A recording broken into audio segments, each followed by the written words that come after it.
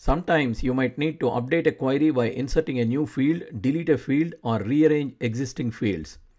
To open an existing query, right click on the query name in the navigation pane and select Design View from the shortcut menu.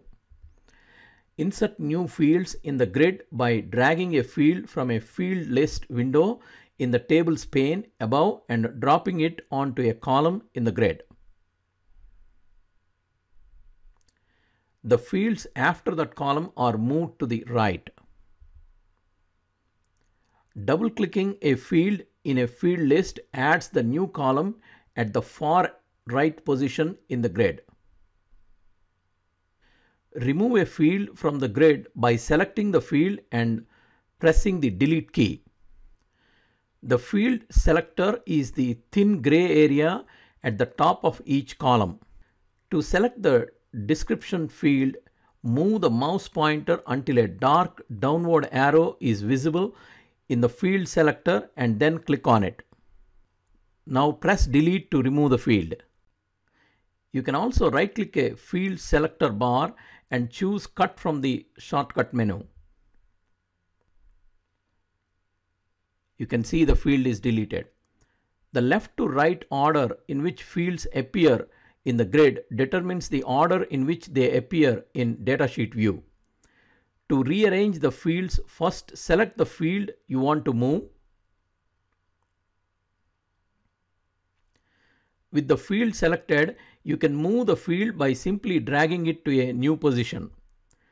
Click on the field selector bar of the selected field and you will see a white arrow with a dotted rectangle at the bottom.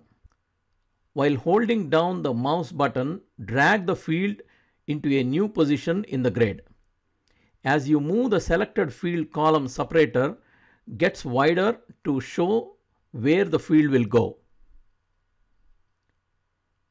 The field will be dropped after the column separator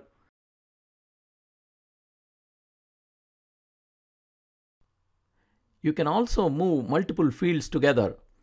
Select multiple contiguous fields by clicking the first field you want to select and then dragging across the field selector bars of the other fields.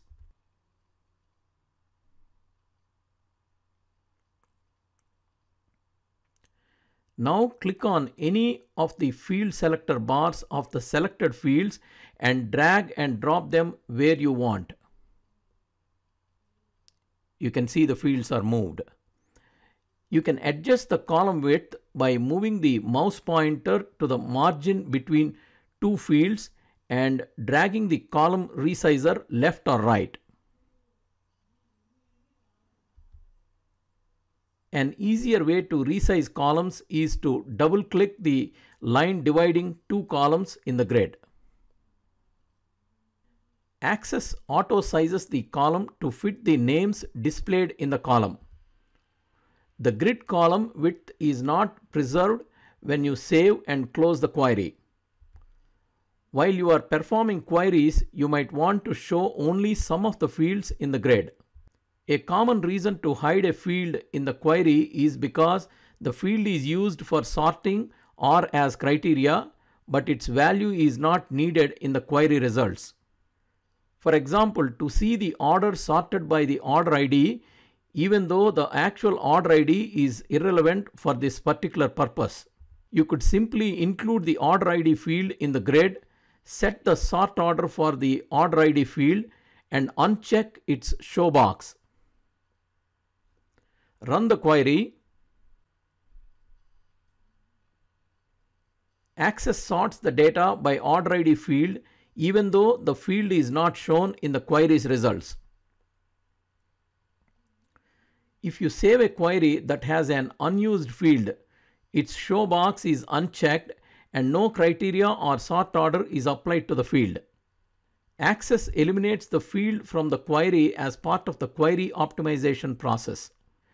For example, uncheck the show checkbox for product ID field in the grid Save and close the query.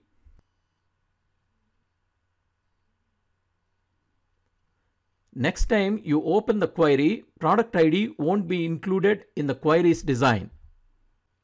If you like this video, please subscribe to our channel.